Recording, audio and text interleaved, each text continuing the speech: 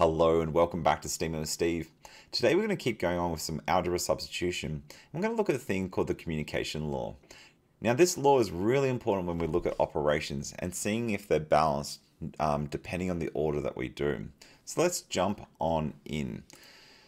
So the first thing, just a quick little recap, when we do substitution, wherever we have a variable in an equation, we must insert that number that we're substituting in into that variable's position.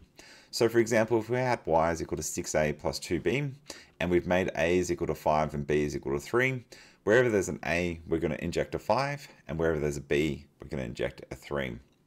And we do this by wrapping around in brackets, and then we just solve as normal. So we'll do 6 times 5, which gives us 30, and then 2 times 3, which gives us 6, and then add that together to get 36. So what's the point of algebra? I uh, keep hearing this question a whole heap of times. Well, it's able helps us to understand the universe. There's a whole heap of different formulas and functions that we've been able to map out there with the universe, like E equals mc squared, um, uh, the, the vector functions, all these different speed functions, all these things um, are linked and they allow us to um, work out a formula to represent certain things in the world. Now I've got a cool little video here, I'll put the link in the video down below. Um, it does go through why algebra does matter. Um, have a look at that and it should give you some insight. For me, I like rugby union. That's one, probably one of my favorite games. So I love um, making up a formula for the rugby. So the way that the game works is scored like below. So you get five points for a try, two points for a conversion, and then also three points for a penalty kick. So we can actually make a rugby formula. And it's pretty simple. The team's total score can be calculated using this formula. So the score is equal to 5 times how many tries, or T, um, plus 2 times how many conversions, or C, plus 3 lots of penalties, or P. So quick little challenge here using the rugby formula. So 5T plus 2C plus 3P. Let's see if we can work out who won this game. So we're using the rugby formula, work out who won the following match. We've got All Australia versus New Zealand. So All Blacks versus Wallabies, always a classic. Here we go. So the first step is I'd write the rule, then I'd substitute it in. So 5 times 4 plus 2 times 3 plus 3 times 5, which gives us 20 plus 6 plus 15, which gives us 41. Whereas the New Zealander side, we get 5 times 6 plus 2 times 2 plus 3 times 2, which gives us 30 plus 4 plus 6, which gives us 40. And look at that, the good old Wallabies won. So hopefully that gives you a little bit of insight into how a formula could be used in the real world.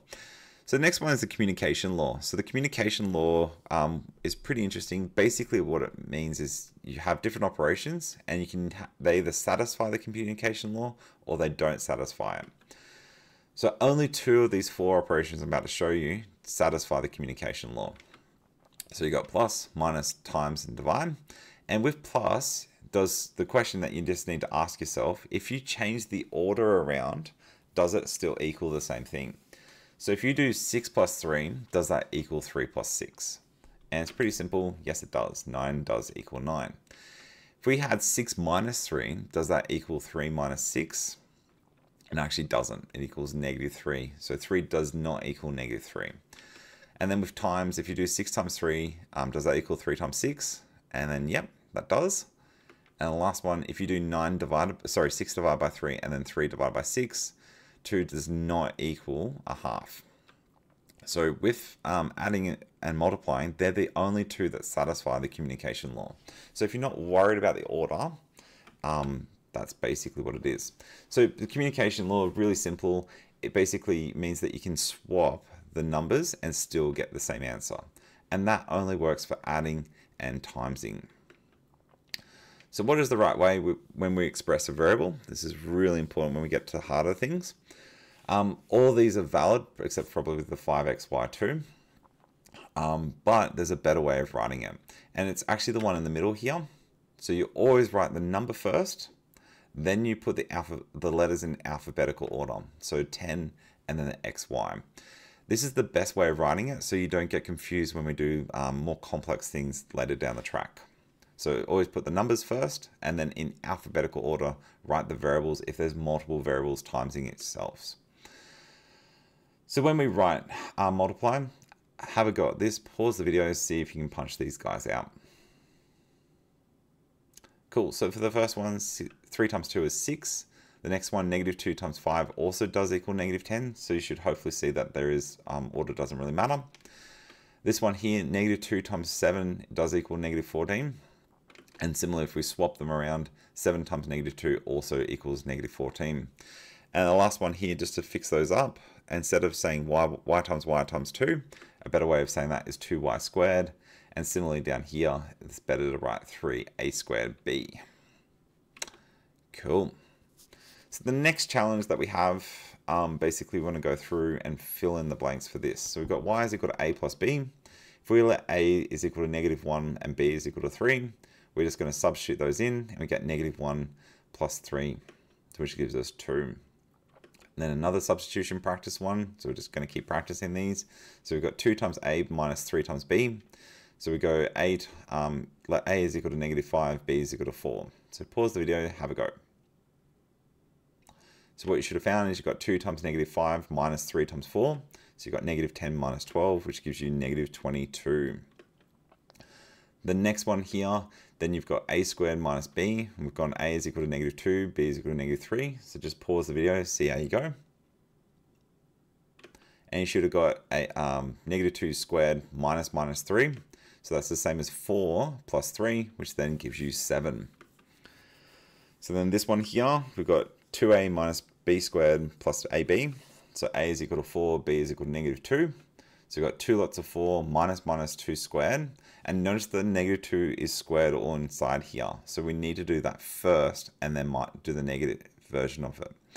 So this gives us 2 times 4, which is 8. Two, negative 2 squared becomes 4, but then it's the minus version, so that's why it stays negative. And then this one here, 4 times negative 2 becomes negative 8. So then that just leaves you with negative 4. A little bit more complex one, have a go at this one. So just pause the video. So what you should have found is you would have 14 divided by negative 7 plus 8 divided by 4. So you got negative 2 plus 2, which then gives you 0. This one here, so we've got AB divided by 3 plus B, squared, B cubed. So we go A is equal to negative 3, B is equal to 2. So we've got negative 6 times 2 divided by 3, and then plus 2 um, cubed. So this becomes negative 12 divided by 3 plus 8, which then gives us negative 4 plus 8, which then gives us 4. Then this one, just pause the video, have a go, see if you can do this one. So what you should have found is you've got 4 times 5 times negative 2 plus 3 lots of negative 2 all squared minus 6 times 4. So when you solve this, um, 4 times 5 times negative 2 gives us negative 40. In this case here, it's plus 3 times negative 2 all squared. So we do this first. So it's 3 times 4 plus 24, which then gives us negative 4 plus 12 plus, um, 24, which then just leaves us with um, negative 4. So that's it for me. There's a Dr. Frost here for you to practice, see how you go with this, a few more substitution ones. These are really important for the exam upcoming. But it's really important when we do the communication law that we understand that you can move the terms around when we add and subtract um, because the, the, they're just grouped inside of that.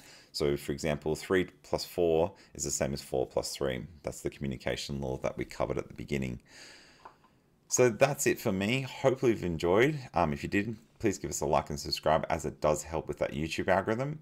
And yeah, see you next time on STEAM with Steve. Adios.